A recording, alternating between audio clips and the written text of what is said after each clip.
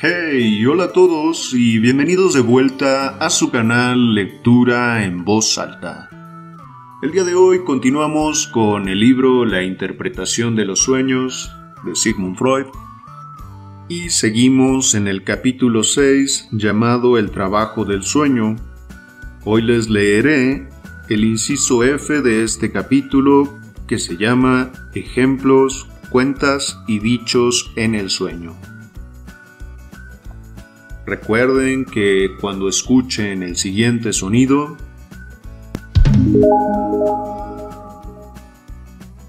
significa que hay un pie de página y entonces ustedes pueden pausar el video, eh, acudir a él y revisar la información pertinente. De antemano les pido disculpas por mi mala pronunciación de muchas palabras alemanas que son indispensables para este capítulo lo siento, espero aún así poderles transmitir eh, los juegos de palabra y giros idiomáticos de los que Freud nos está hablando. Y también vale la pena mencionar que aunque muchos de ellos se lean de la manera adecuada, solo tendrán sentido siendo leídos en alemán. Así que tengan en mente eso. Y sin nada más que agregar, comencemos. Inciso F. Ejemplos. Cuentas y dichos en el sueño.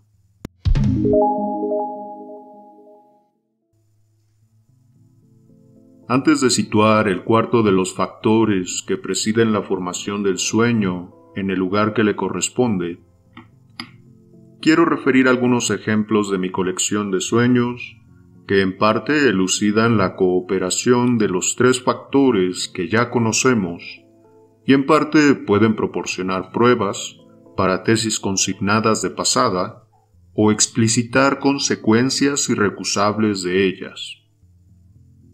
En mi anterior exposición sobre el trabajo del sueño, me fue muy difícil ejemplificar mis descubrimientos. Los ejemplos para cada uno de los enunciados solo son probatorios en el contexto de la interpretación de un sueño. Arrancados de él, pierden su bondad y una interpretación, por poco profunda que sea, enseguida se extiende tanto que nos hace perder los hilos del discurso a cuya ilustración debía servir. Si en lo que sigue enhebro en dispersión toda clase de cosas que sólo reciben coherencia por su vínculo con el texto de la sección precedente, sírvame de disculpa el motivo técnico que he dicho. Entre cochetes 1900. Primero, algunos ejemplos de modos de figuración onírica particularmente curiosos o inhabituales. Una dama sueña. Dos puntos. Una mucama está sobre una escalera como para limpiar una ventana y tiene junto a sí a un chimpancé y a un gato gorila. Entre paréntesis, gorila katze. Abre otro paréntesis, después corrige dos puntos gato de Angora. Abre otro paréntesis, Angora Katze. Cierra ambos paréntesis. Echa los animales encima de la soñante. El chimpancé se estrecha contra ella y eso es muy asqueroso. Fin del sueño. Este sueño ha alcanzado su fin por medio en extremo sencillo.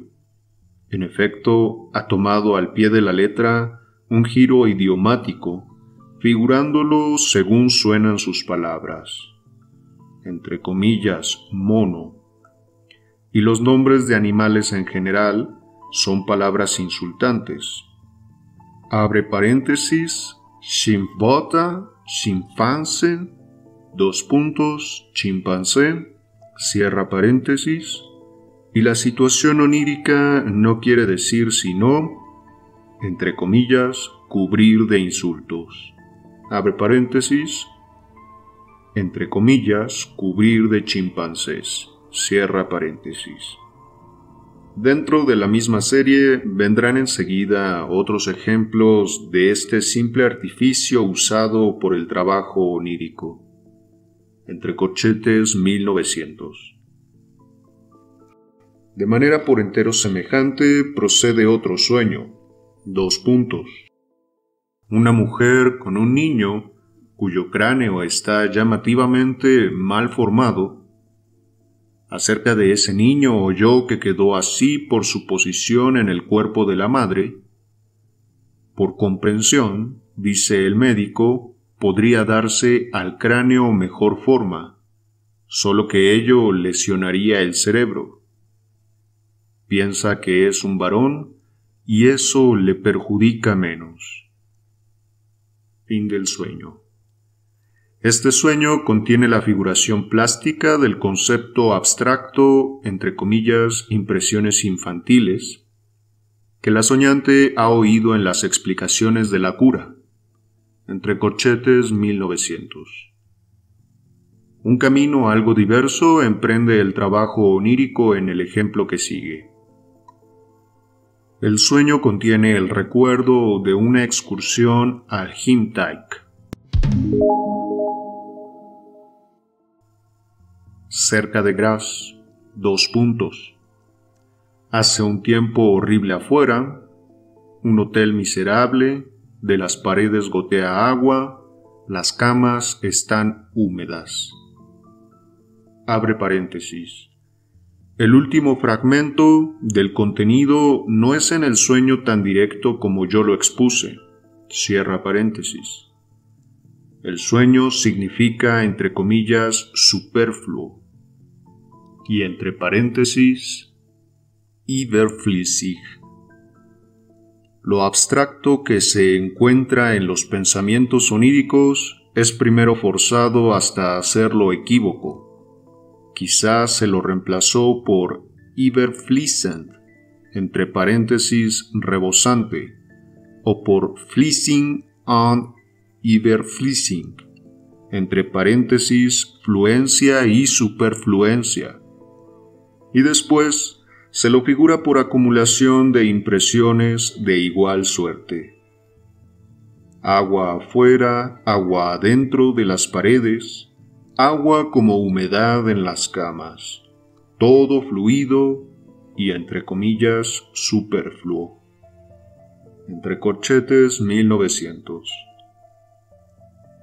que a los fines de la figuración en el sueño, la ortografía ceda con mucho a la pronunciación no ha de asombrarnos, pues la rima, por ejemplo, se toma libertades semejantes. En el sueño de una doncella, que Rank, entre paréntesis, 1910, comunica en detalle y analiza muy a fondo, se cuenta que ella va de paseo por los campos, donde corta hermosas espigas, entre paréntesis, aren, de cebada y de trigo. Un joven amigo viene en dirección a ella y quiere evitar encontrarlo. El análisis muestra que se trata de un beso honroso, entre paréntesis, Kus in Eren.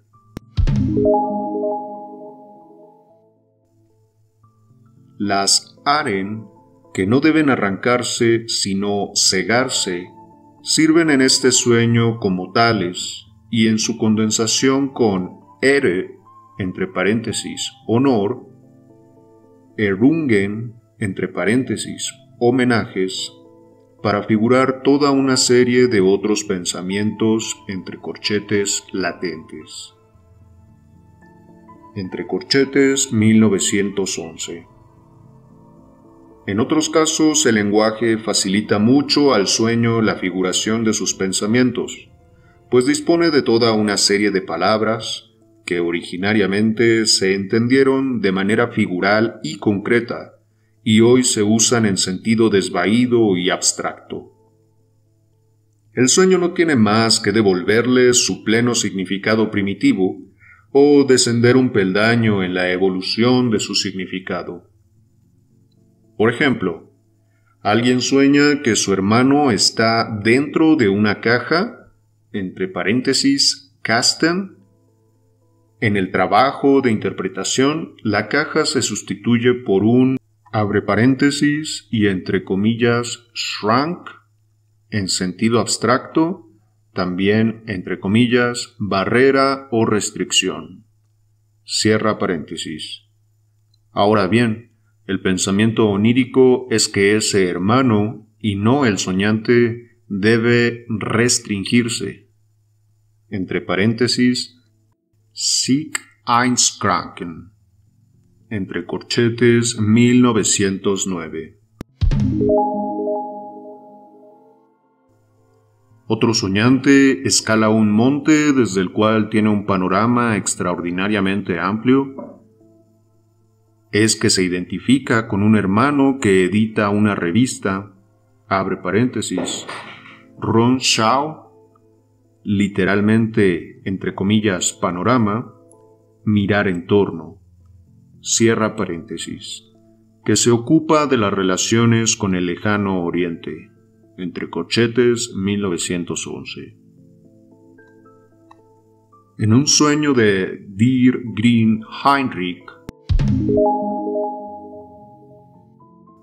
un caballo brioso, abre paréntesis, Ibermitir, también, entre comillas, petulante, cierra paréntesis, se revuelca en la más hermosa avena. Cada grano es, abre comillas, una almendra dulce, una pasa de uva y un centavo nuevo. Cierra comillas. Todo, abre comillas, envuelto en seda roja y atado con un pedacito de cerda de chancho. Cierra comillas. El autor, entre paréntesis, o el soñante, nos da enseguida la interpretación de esta figuración onírica. En efecto, el caballo siente una agradable cosquilla y por eso exclama Der Hafer stick mich,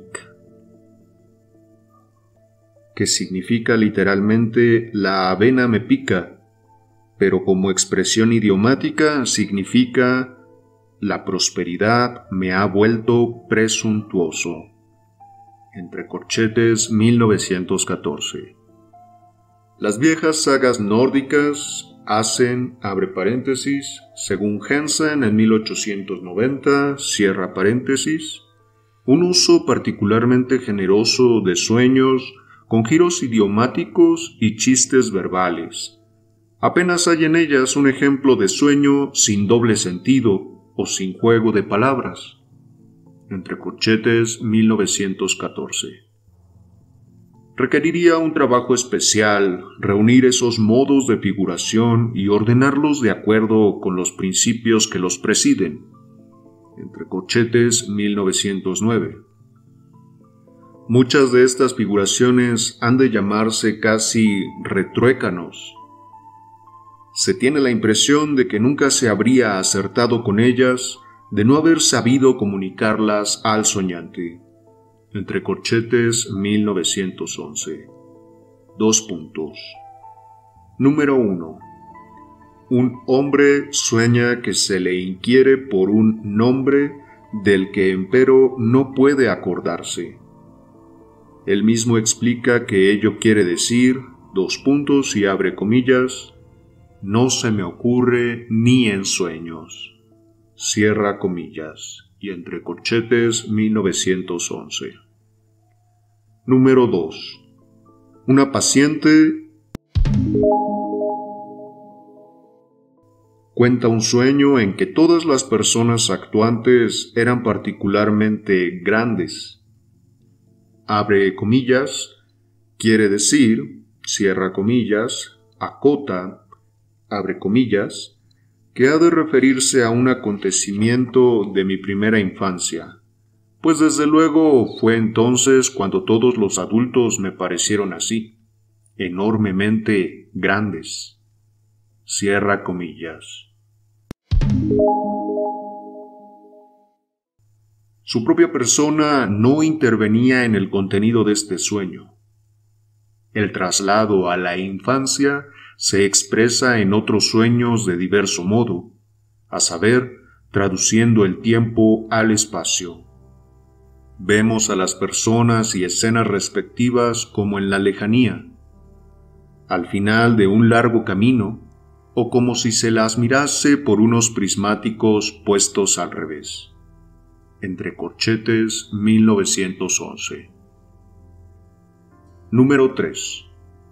Un hombre que en la vigilia se inclinaba por modos de expresión demasiado abstractos e imprecisos, aunque estaba dotado de un buen ingenio, sueña en cierto contexto que va a una estación a la que está entrando un tren, pero entonces el andén es acercado al tren, que permanece quieto.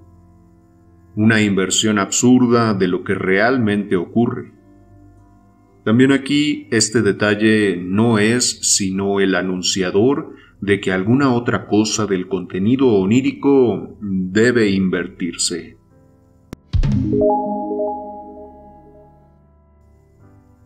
El análisis del mismo sueño lleva a recuerdos de libros de estampas donde había figurados unos hombres que andaban sobre las manos, cabeza abajo.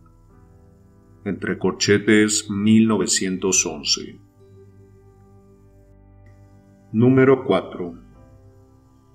El mismo soñante nos informa de otro sueño, breve, que casi recuerda a la técnica de un acertijo su tío le da un beso en el automóvil. Apunta inmediatamente esta interpretación que yo jamás habría hallado. Dos puntos. Autoerotismo. Habría podido ser una broma hecha en la vigilia.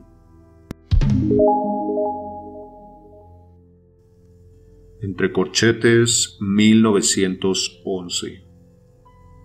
Número 5. El soñante saca al descubierto, entre paréntesis, Hellfold 100, a una mujer por detrás de la cama. Significado, dos puntos, le da la preferencia, Volt 100.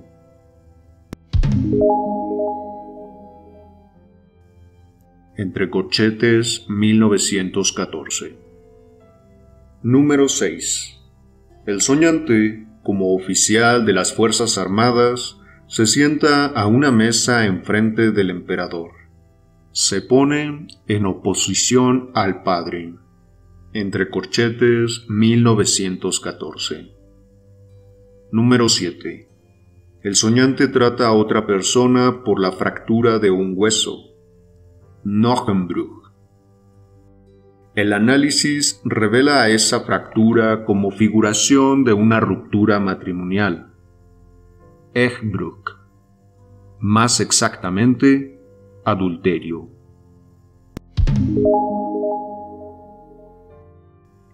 Entre corchetes 1914.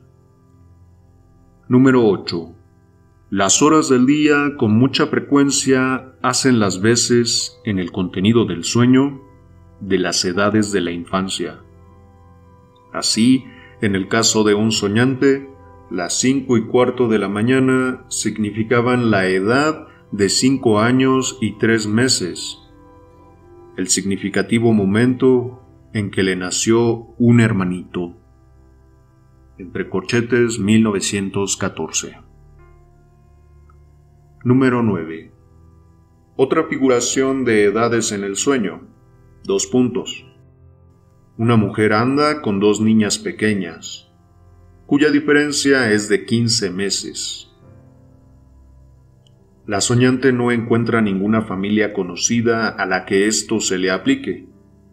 Ella misma interpreta que las dos niñas figuran a su propia persona, y el sueño le dice que los dos acontecimientos traumáticos de su infancia estuvieron separados por ese tiempo abre paréntesis, a los tres años y medio y a los cuatro años y nueve meses.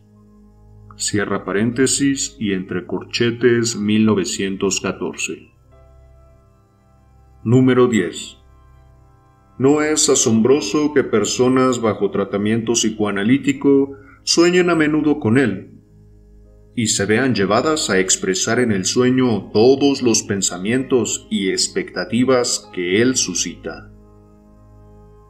La imagen escogida para la cura es por regla general la de un viaje, la mayoría de las veces en automóvil, en su calidad de vehículo novedoso y complejo. Y entonces la referencia a la velocidad del automóvil deja campo libre a la ironía del paciente. Si es el, entre comillas, inconsciente, como elemento de los pensamientos de vigilia, el que ha de encontrar figuración en el sueño, muy oportunamente se le sustituye por sitios, entre comillas, subterráneos, que en otro caso, y sin relación alguna con la cura psicoanalítica, habrían significado el vientre de una mujer o el seno materno. Entre comillas, abajo, en los sueños, se refiere hartas veces a los genitales, y lo opuesto, entre comillas, arriba, al rostro, la boca o el pecho. Mediante animales salvajes, el trabajo del sueño simboliza por lo común pulsiones pasionales, así las del soñante como las de otras personas, que él teme, y por tanto con un mínimo desplazamiento simbolizan a las personas mismas que son las portadoras de esas pasiones. De aquí a la figuración del Padre temido mediante animales feroces, perros, caballos salvajes, que se asemeja al totemismo. No hay gran distancia.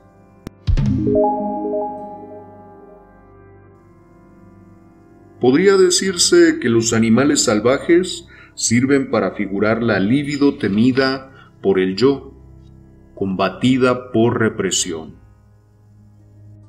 También la neurosis misma, la, entre comillas, persona enferma, es escindida muchas veces del soñante y mostrada en el sueño como una persona independiente. Entre corchetes 1919. Número 11. Dice H. Sachs en 1911, dos puntos, y abre comillas. Por la interpretación de los sueños, entre corchetes, de Freud, sabemos que el trabajo onírico conoce diversos caminos para figurar de manera sensible e intuitiva una palabra o un giro idiomático. Por ejemplo, aprovechando la circunstancia de que la expresión a figurar es ambigua y siguiendo el, entre comillas, cambio de vía, del doble sentido, puede recoger en el contenido manifiesto del sueño el segundo sentido, no el primero, que aparece en los pensamientos oníricos. Es lo que sucedió en el breve sueño que comunico a continuación, donde se aprovechan muy hábilmente como material figurativo las impresiones diurnas recientes aptas para ello el día del sueño había sufrido un resfriado y por eso al final del día decidí no dejar la cama en toda la noche mientras me fuese posible. El sueño, en apariencia, no hizo sino proseguir mi trabajo diurno. Había estado ocupándome de pegar en un álbum recortes de revistas, con el cuidado de asignar a cada recorte el lugar correspondiente. He aquí el sueño. Dos puntos. Me esfuerzo por pegar un recorte en el álbum, pero no cabe en la página. Entre paréntesis, Er geht aber nicht auf die Seite. Cierra paréntesis. Lo que me causa gran dolor. Fin del sueño. Me desperté y hube de comprobar que el dolor del sueño perduraba como un real dolor corporal que me obligaba a ser infiel a mi propósito. El sueño, como, entre comillas, guardián del dormir, había entretenido el cumplimiento de mi deseo de permanecer en cama mediante la figuración de las palabras Er geht aber nicht auf die Seite, entre paréntesis, pero no va al baño. Cierra comillas y entre corchetes 1914. Puede decirse lisa y llanamente que para la figuración visual de los pensamientos oníricos, el trabajo del sueño se sirve de todos los medios a su alcance, permitidos o no por la crítica de la vigilia, y así se expone a las dudas e ironías de aquellos que de la interpretación de los sueños solo saben de oídas, pero nunca la ejercitaron. Particularmente rico en ejemplos de esta índole es el libro de Steckel, Die Sprache des Traumes, de 1911. No obstante, evito tomar de ahí las pruebas porque la falta de crítica y la arbitrariedad técnica de este autor las hacen inciertas incluso para aquellos que no están encastillados en sus prevenciones. Entre corchetes 1919. Número 12. De un trabajo de B. Tosk de 1914 sobre el uso de vestidos y colores al servicio de la figuración onírica, tomo los siguientes ejemplos. Dos puntos. Inciso A. A. Sueña que ve a su anterior gobernanta en un traje de lustrina.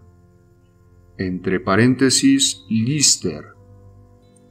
Negra, muy ceñido en las caderas significa que declara lasciva, entre paréntesis, listern, a esta mujer. Inciso B.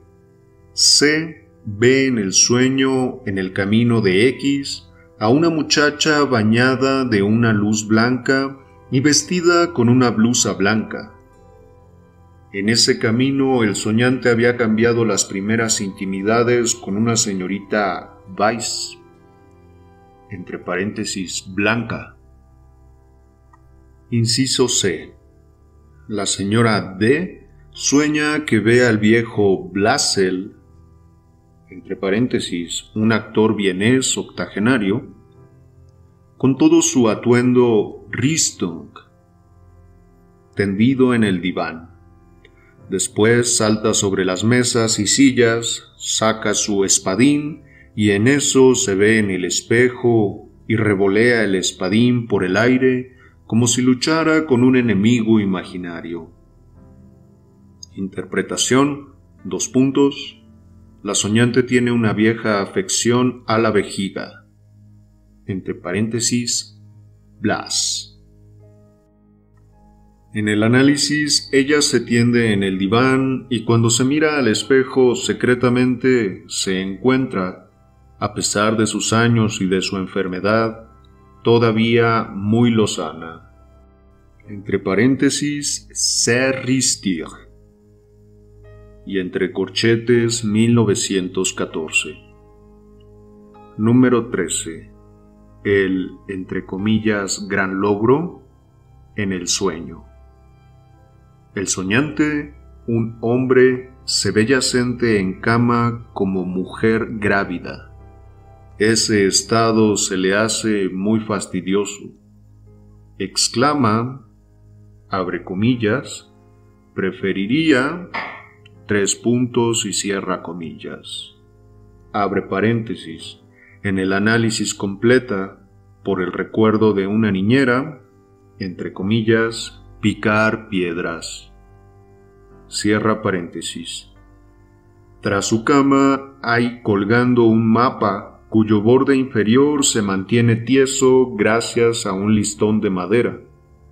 Raja este listón tomándolo por los dos extremos, pero de ese modo no lo quiebra transversalmente, sino que lo divide a lo largo, en dos mitades.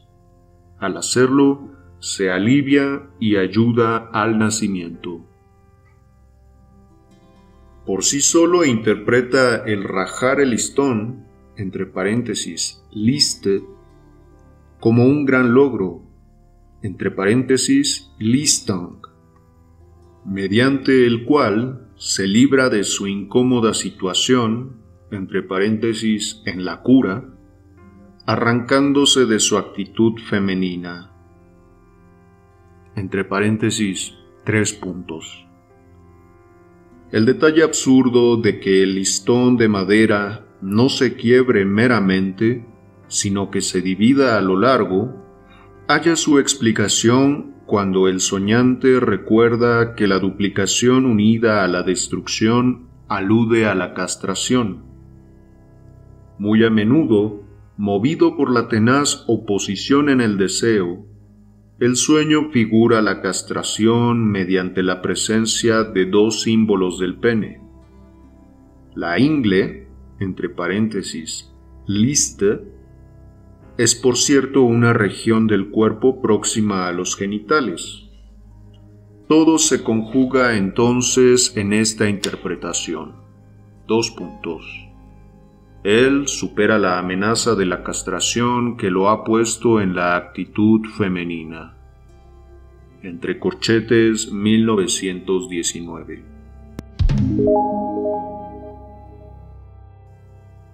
Número 14. En un análisis que llevé a cabo en francés, debí interpretar en un sueño en que yo aparecía como elefante. Desde luego, tuve que preguntar cómo había llegado yo a esa figuración. Entre comillas, vous me trompez. Entre paréntesis, usted me engaña, respondió el soñante.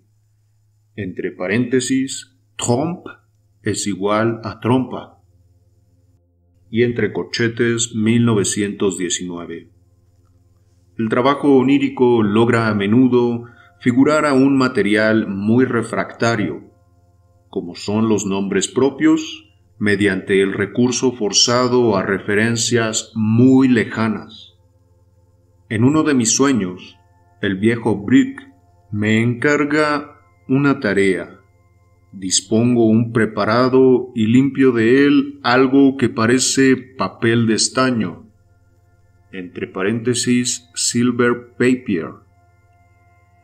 Abre otro paréntesis. Sobre este sueño volveré después. Cierra paréntesis. La ocurrencia, nada fácil de hallar, resultó ser estañol, que vale decir que estañol es sinónimo de silver papier papel de estaño o papel de plata utilizado para envolturas por su resistencia a la corrosión. La palabra corriente en alemán para estaño es Sin. Y ahora sé que alude a Stanius, el autor de un tratado sobre el sistema nervioso de los peces por el que sentí hondo respeto en mi juventud y la primera tarea científica que me encargó mi maestro, Brick, se refería de hecho al sistema nervioso de un pez, el Amocetes. Entre corchetes, Freud 1877. Es evidente que este último nombre no se prestaba para un acertijo. Entre corchetes 1900. No puedo resistirme a intercalar todavía un sueño de curioso contenido, también notable como sueño infantil, y que mediante el análisis halló fácil explicación. Una dama cuenta, dos puntos y abre comillas. Recuerdo aún que de niña soñé repetidas veces. El buen Dios tiene un bonete de papel puntiagudo sobre la cabeza. Ahora bien, un bonete así solían ponerme muchas veces estando a la mesa, para que yo no pudiese atisbar el plato de los otros niños y ver cuánto les daban de algún manjar. Como había oído decir que Dios es omnisapiente, el sueño significa que yo lo sabía todo, a pesar del bonete que me pusieron. Cierra comillas y entre corchetes 1909. La naturaleza del trabajo del sueño. y el modo en que maneja su material, los pensamientos oníricos, puede mostrarse instructivamente en los números y cálculos que aparecen en sueños.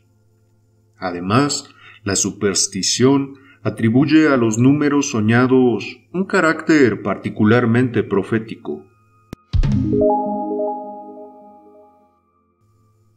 Escojo entonces de mi colección algunos ejemplos de este tipo.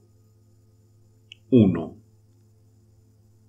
Del sueño de una señora, sobrevenido poco antes de la terminación de su cura. Dos puntos. Ella quiere pagar algo. Su hija le toma tres florines y 65 kreuser de la cartera. Pero ella dice, abre comillas, ¿Qué haces? Solo cuesta 21 kreuser. Cierra comillas.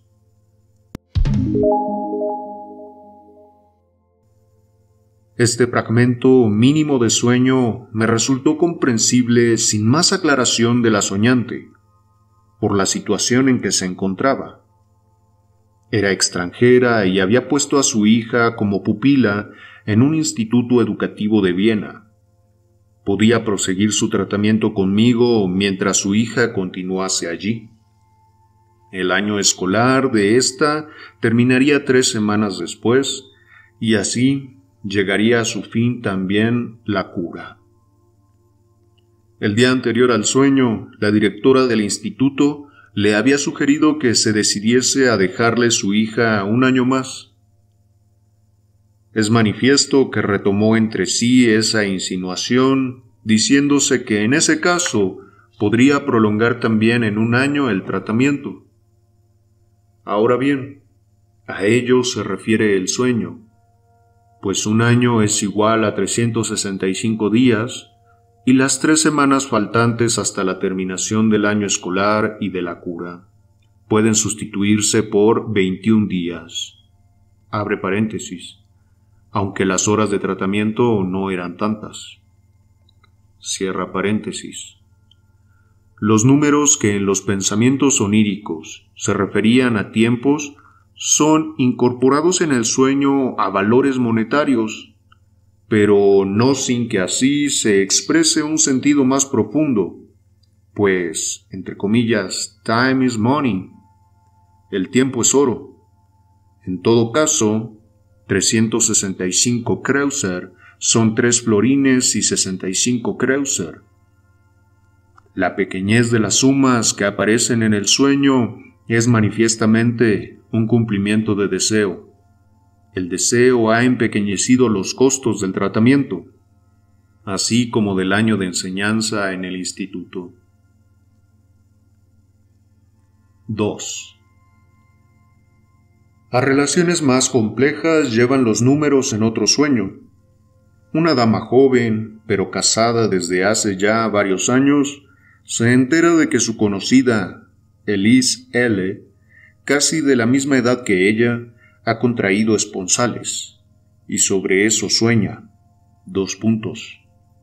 Está sentada con su marido en el teatro. Un sector de la platea está totalmente desocupado. Su marido le cuenta que Elise L. y su prometido también habían querido ir, pero solo consiguieron malas localidades. Tres por un florín y cincuenta kreuser, y no pudiendo tomarlas. Ella piensa que eso no habría sido una calamidad.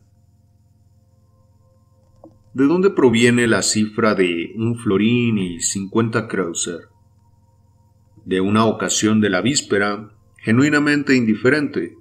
Su cuñada había recibido un obsequio de su marido, ciento cincuenta florines, y se apresuró a desprenderse de ellos comprándose una alhaja en cambio. Reparemos en que ciento cincuenta florines son cien veces más que un florín y cincuenta kreuser. ¿De dónde proviene el número 3, que son las localidades del teatro? Respecto de ello, solo surge un anudamiento. La novia es más joven que ella en esa cantidad de meses. Tres. Y después, la averiguación de lo que puede significar ese otro rasgo del sueño, a saber, que un sector de la platea está vacío, nos lleva a resolver el sueño.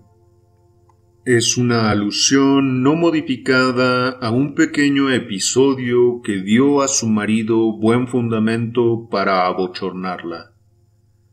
Se le había puesto a ella ir a una de las representaciones teatrales anunciadas para la semana. Tan previsora fue que tomó entradas con varios días de anticipación y debió pagar por ellas una prima por reservación.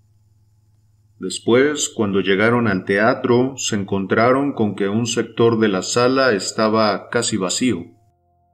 No habría necesitado apresurarse tanto. Ahora sustituiré el sueño por los pensamientos oníricos, dos puntos y abre comillas. Seguro que fue un disparate casarse tan temprano. No habría necesitado apresurarme tanto. Por el ejemplo de Elise L., veo que de todos modos habría conseguido un marido, y por cierto, uno cien veces mejor, entre paréntesis, hombre, tesoro. Con que solo hubiera esperado, entre paréntesis, oposición al apresuramiento de la cuñada. Tres hombres así me habría podido comprar a cambio del dinero. Entre paréntesis, la dote. Cierra comillas. Observamos que en este sueño los números alteraron su significado y su contexto en grado mucho mayor que en el sueño tratado antes. El trabajo de transmudación y desfiguración del sueño fue aquí más vasto. Interpretamos esto suponiendo que los pensamientos oníricos debieron vencer hasta su figuración una medida particularmente alta de resistencia intrapsíquica. No queremos pasar por alto que en este sueño se contiene un elemento absurdo, a saber, que dos personas hayan de tomar tres localidades. Nos adelantaremos a la interpretación de lo absurdo en el sueño, apuntando que ese detalle absurdo del contenido del sueño está destinado a figurar al más acentuado de los pensamientos oníricos. Dos puntos y abre comillas. Fue un disparate casarse tan temprano. Cierra comillas. Al número tres implícito en una relación entre las dos personas comparadas que es, desde todo punto, colateral, abre paréntesis, tres meses de diferencia de edad, cierra paréntesis, se lo usa entonces diestramente para producir el disparate que el sueño requiere. El empequeñecimiento de los 150 florines reales a un florín y 50 kreuzer corresponde al menos guion precio por el marido, entre paréntesis, o tesoro, en los pensamientos sofocados de la soñante.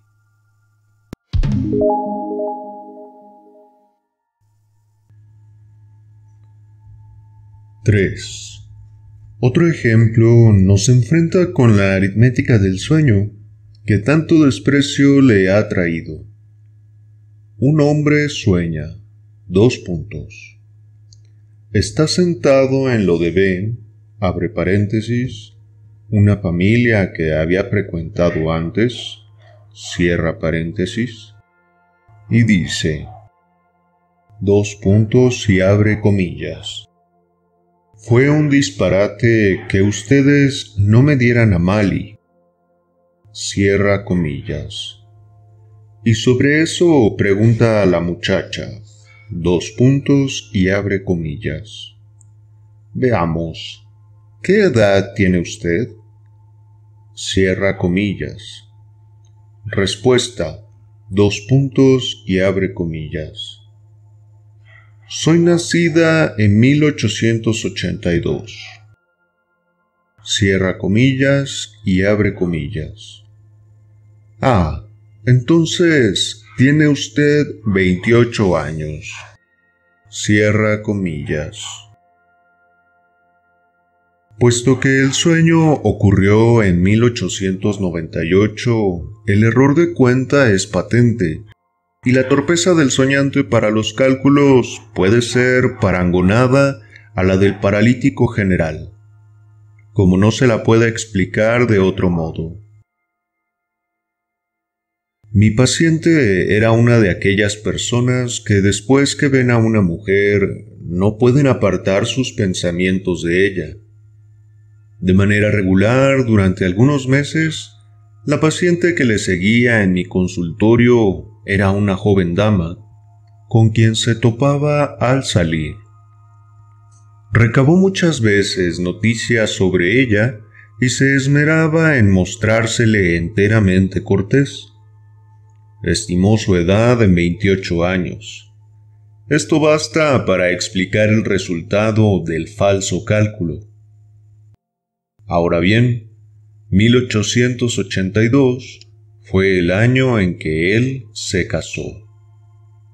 Y además, no pudo dejar de trabar conversación con las otras dos personas del sexo femenino que encontró en mi casa en modo alguno eran jóvenes esas dos empleadas que alternativamente solían abrirle la puerta. Y como las halló poco locuaces, dio en pensar que le tenían por un señor mayor, entre comillas, asentado. 4. Otro sueño de números que se singulariza por una transparente determinación, o más bien sobredeterminación, lo debo, junto con su interpretación, al señor B. Datner. Dos puntos. Y abre comillas. Mi casero, guardia de seguridad en el ayuntamiento, sueña que está de servicio en la calle lo que es un cumplimiento de deseo. En eso se le acerca un inspector que lleva en la solapa el número 22 y 62 o 22 y 26. De todas maneras, eran varios los números 2. Ya la partición del número 2262 en el relato del sueño permite inferir que cada uno de los elementos tiene un significado propio. He aquí la ocurrencia del soñante. Dos puntos. Ayer en el trabajo habían hablado sobre el tiempo de servicio de cada cual. Causa de la charla fue un inspector que había pasado a retiro a los 62 años el soñante tiene solamente 22 años de servicio y todavía necesita dos años y dos meses para obtener una pensión del 90%.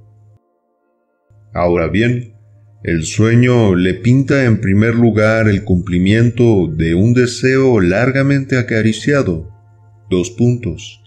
Tener la jerarquía de inspector. El jefe que lleva en la solapa el número 2262 es él mismo. Desempeña su servicio en la calle, lo que es también un deseo, una predilección de él. Ha cumplido sus dos años y dos meses y ahora puede jubilarse con pensión completa, como el inspector de 62 años. Cierra comillas.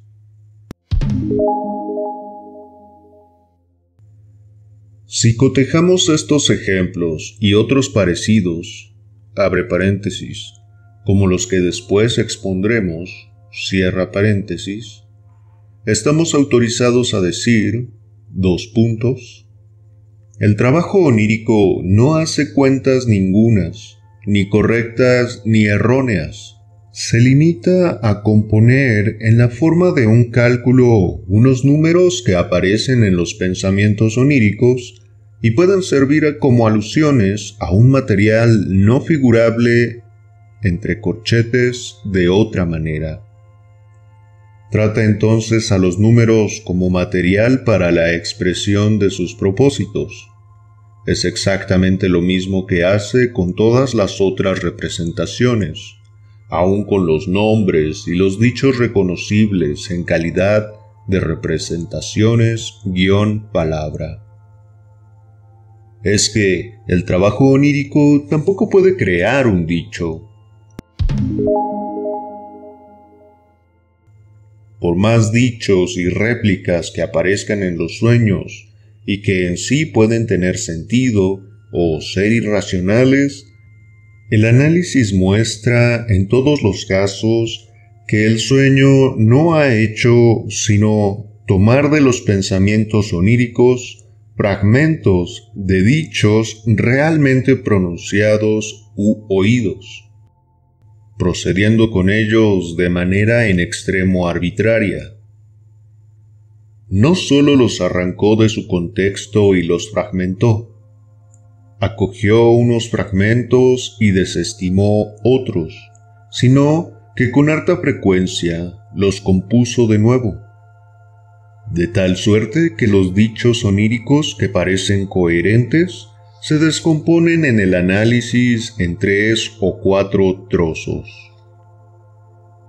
En este uso nuevo, a menudo deja de lado el sentido que las palabras tenían en los pensamientos oníricos y presta a su literalidad un sentido por completo novedoso.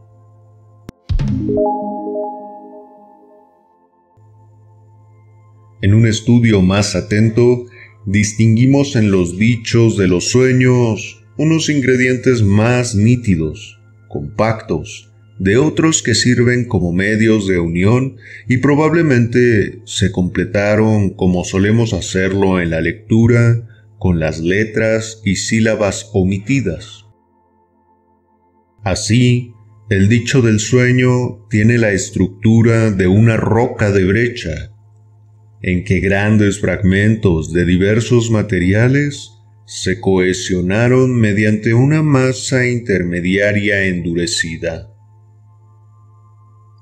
Empero, esta descripción es válida en sentido estricto solamente para aquellos dichos, entre paréntesis, red, que tienen algo del carácter sensible del habla, entre paréntesis, de nuevo, red, y pueden describirse como, entre comillas, proferencias, y entre paréntesis, red. Los otros, los que por así decir no se percibieron como oídos o como pronunciados, abre paréntesis, no tienen en el sueño ninguna inflexión acústica o motriz, cierra paréntesis, son simplemente pensamientos como los que acuden a nosotros en la actividad mental de vigilia y pasan inalterados a muchos sueños. Para el material de dichos que en el sueño aparecen con carácter de indiferentes, la lectura parece ser también una fuente copiosa y difícil de rastrear. Pero, por otro lado, todo aquello que en el sueño se destaca llamativamente de un modo cualquiera como un dicho, admite ser reconducido a dichos reales, pronunciados por uno mismo u oídos. Ejemplos de esta derivación de los dichos del sueño hallamos ya en análisis que comunicamos con otros fines. Así, en el, entre comillas, inocente sueño del mercado, de donde el dicho, entre comillas, de eso no tenemos más, sirve para que la soñante me identifique con el carnicero, mientras que un fragmento del otro dicho, dos puntos y abre comillas, a eso no lo conozco y no lo llevo, cierra comillas, no hace sino cumplir la tarea de volver inocente al sueño. En efecto, la víspera, la soñante había replicado a su cocinera, frente a alguna insinuación de ésta, con las palabras dos puntos. A eso no lo conozco. Pórtese decorosamente. Y ocurrió que de este dicho se recogió en el sueño el primer fragmento, que sonaba indiferente, a fin de aludir así al segundo fragmento, el cual conviene muy bien a la fantasía que está en la base del sueño, pero también la habría delatado. Vaya un ejemplo parecido en reemplazo de muchos, puesto que todos desembocan en lo mismo. Dos puntos. Un vasto patio donde se incineran cadáveres. El soñante dice, dos puntos. Yo me voy. Entre paréntesis, G. Ik Weg. No puedo ver eso. Cierra comillas y abre paréntesis esto no es un dicho nítido. Cierra paréntesis. Después encuentra a dos aprendices de carnicero y pregunta, Vaya, ¿gustó eso? Y uno responde, ¿qué va? No estaba bueno. Como si hubiera sido carne humana. He aquí la ocasión inocente de este sueño. Dos puntos. Después de cenar, hace con su mujer una visita a los honrados, pero en modo alguno apetitosos, vecinos. La anciana y hospitalaria dama se encuentra justamente en su comida nocturna y lo fuerza, abre paréntesis, entre hombres se usa jocosamente para ello una palabra compuesta de acento sexual,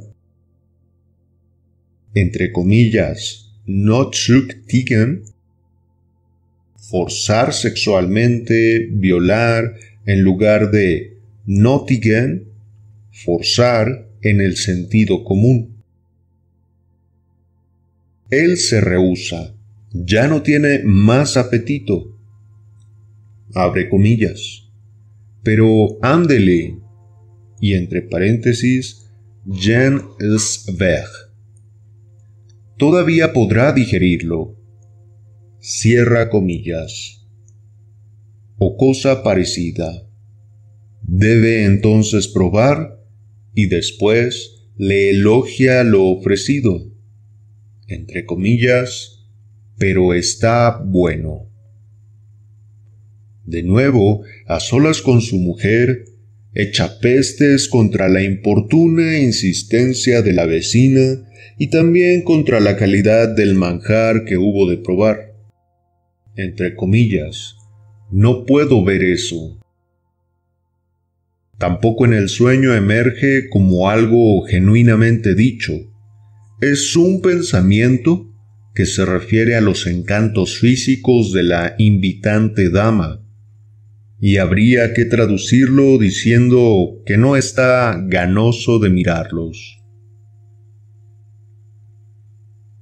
Más instructivo resultará el análisis de otro sueño que comunico aquí a causa del dicho muy nítido que forma su punto central, pero que sólo será esclarecido cuando consideremos los afectos en los sueños. Soñé con mucha claridad. Dos puntos. He ido de noche al laboratorio de Brück y abro la puerta. Después que golpearon suavemente al, entre paréntesis, difunto, profesor Flischel, quien entra con varios amigos y luego de algunas palabras se sienta a su mesa. Sigue otro sueño. Dos puntos. Mi amigo Fliss ha llegado a Viena en julio de incógnito.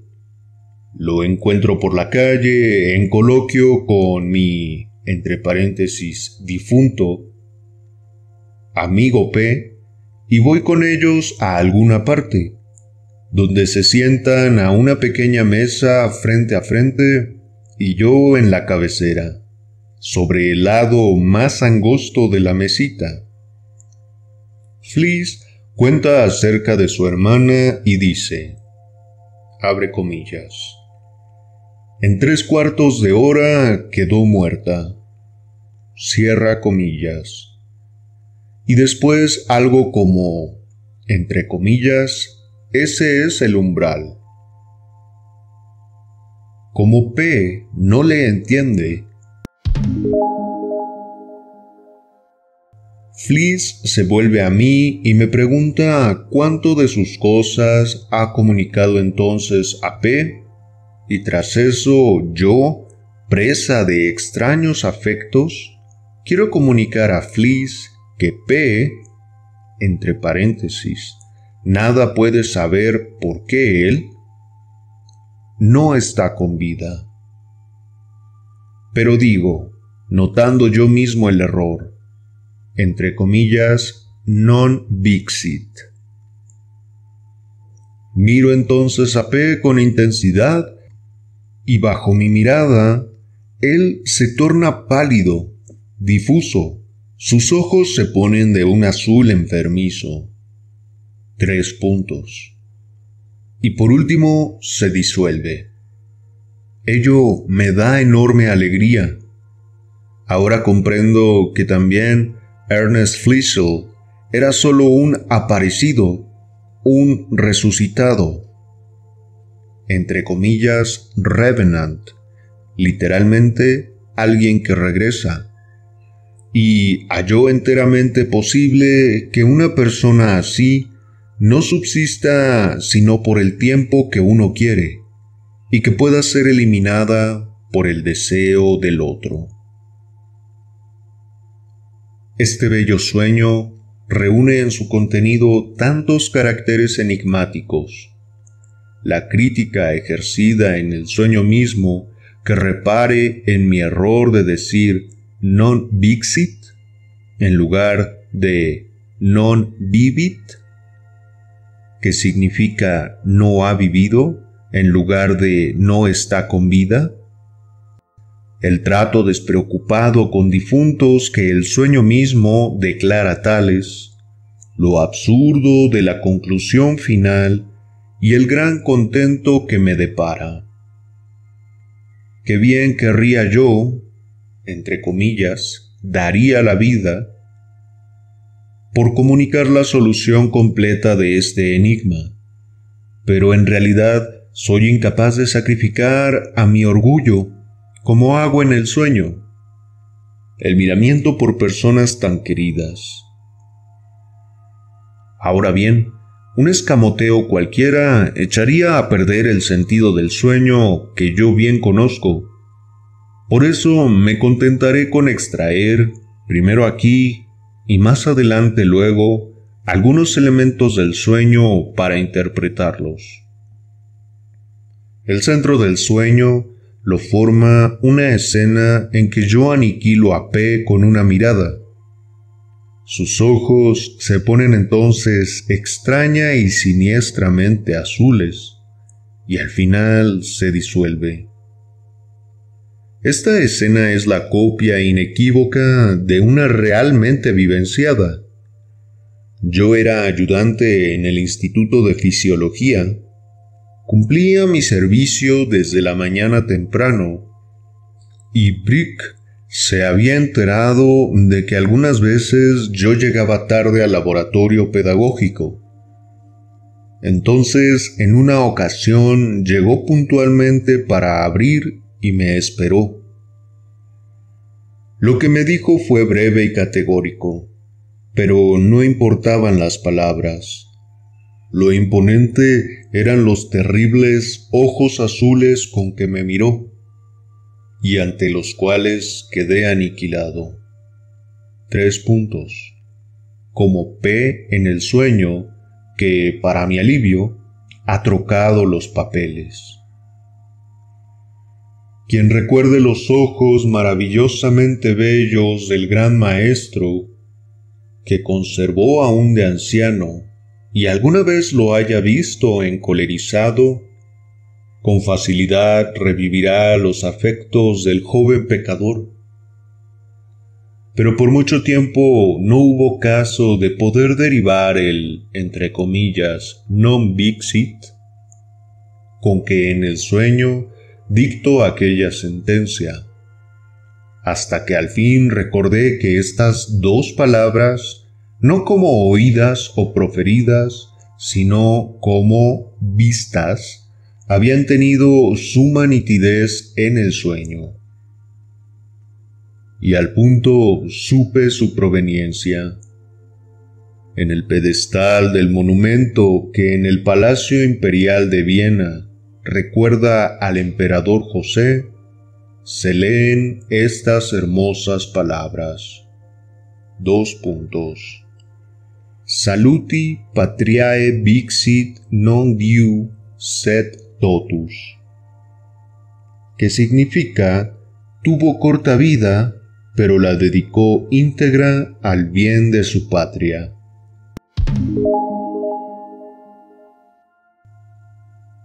De esa inscripción saqué yo lo que convenía a una de las series, hostil, de los pensamientos oníricos. Ella pudo ser, dos puntos y abre comillas. El tipo ya no está para contar el cuento. Él no está con vida. Cierra comillas. Y entonces hube de recordar que el sueño me sobrevino pocos días después que se descubrió el monumento a Flischel en el perístilo de la universidad.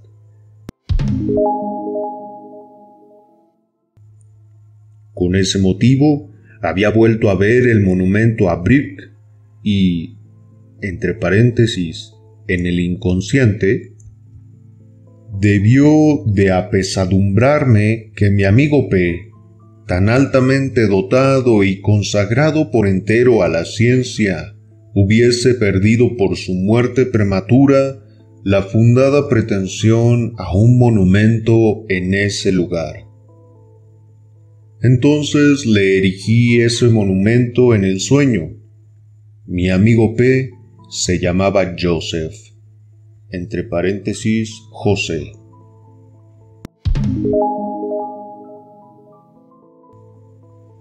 Empero, por las reglas de la interpretación de los sueños, no estaría aún justificado para sustituir el, entre comillas, non vivit que necesito por, entre comillas, non vixit, que el recuerdo del monumento a José pone a mi disposición. Algún otro elemento de los pensamientos oníricos tiene que haber contribuido a posibilitar ese paso. Ahora bien, hay aquí algo que me obliga a reparar en que la escena del sueño conjuga una corriente de pensamientos hostiles y otra de pensamientos tiernos hacia mi amigo P. De ellas, la primera es superficial, la segunda está escondida, y logran su figuración en idénticas palabras, dos puntos, entre comillas, non vixit. Porque ha hecho méritos científicos, le erijo un monumento, pero porque se hizo culpable de un mal deseo, abre paréntesis, que se expresa al final del sueño, cierra paréntesis, lo aniquilo. Acabo de formar una frase de cuño muy particular, para lo cual tiene que haberme influido algún modelo. ¿Y dónde hay una antítesis parecida en que se ponen una junto a la otra dos reacciones contrapuestas hacia la misma persona y ambas pretenden estar plenamente justificadas y no obstante dicen no estorbarse una a la otra?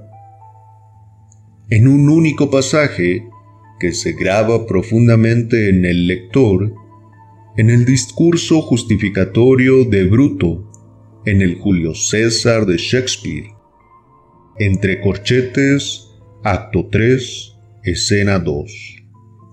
Dos puntos y abre comillas. Porque César me amó, lloro por él. Porque fue afortunado, regocíjome. Porque fue valiente, lo venero. Más porque fue ambicioso, lo maté. Cierra comillas. ¿No es esta la misma construcción de las frases y la misma oposición de ideas incluidas en el pensamiento onírico que yo he descubierto? Hago entonces de bruto en el sueño. Si pudiera descubrir en el contenido de éste alguna otra pista que corroborase este sorprendente enlace colateral. Creo que podría ser la siguiente. Dos puntos. Mi amigo Fliss vino a Viena en julio, pero este detalle no encuentra apoyo ninguno en la realidad. Que yo sepa, mi amigo jamás estuvo en Viena en el mes de julio pero el mes de julio se llama así por Julio César. Y muy bien podría ser este el subrogado de la alusión que busco al pensamiento intermediario, el de que yo hago el papel de bruto.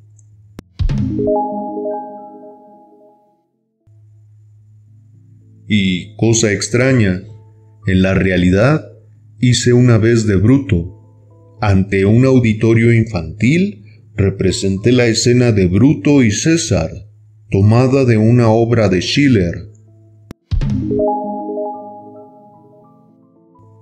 Fue cuando yo tenía 14 años y lo hicimos junto con mi sobrino, un año mayor que yo, que por entonces había venido a visitarnos de Inglaterra. Era también un revenant, pues con él reaparecía el compañero de juegos de mi primera infancia. Hasta mi tercer año cumplido fuimos inseparables. Nos amábamos y reñíamos. Y esta relación infantil, como señalé, fue determinante para todos mis sentimientos posteriores en el trato con personas de mi edad. Desde entonces mi sobrino John encontró muchas encarnaciones que revivían ora este aspecto, ora estotro, de su ser fijado de manera indeleble en mi recuerdo inconsciente. Por momentos ha de haberme tenido muy a mal traer, y yo debo de haber dado muestras de arrojo contra mi tirano, pues años después me fue contado muchas veces un breve dicho justificatorio con que me dependía cuando mi padre, su abuelo, me pedía cuentas. Dos puntos y abre comillas. ¿Por qué le pegaste a John? Cierra comillas y venía la justificación en el lenguaje del niño que aún no llegaba a los dos años. Entre comillas, le pegué porque él me pegó. Debe ser esta escena infantil la que desvía el non vivit al non vixit, pues en el lenguaje de los niños mayores, pegar entre paréntesis, schlagen, se dice vision. Entre paréntesis, sobar se pronuncia vixen. El trabajo onírico no desdeña usar tales conexiones. La hostilidad, tampoco fundada en la realidad hacia mi amigo P, quien muchas veces me venció y por eso pudo espejar una reedición de los juegos infantiles, retrocede con seguridad hasta mi compleja relación infantil con John.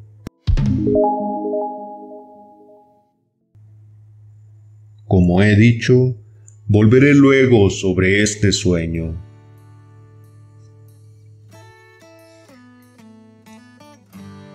Bueno amigos, este fue el inciso F llamado Ejemplos, cuentas y dichos en el sueño. Espero que les haya sido de utilidad. Dejen sus comentarios aquí abajo y no olviden dejar un like y suscribirse. De igual manera activen la campana para recibir todas las notificaciones del canal los invito a ver otro tipo de contenido que también subo al canal, como historias de Sherlock Holmes y libros como Grandes Esperanzas. Es un gusto leerles y hasta acá su amigo de lectura en voz alta. Nos vemos.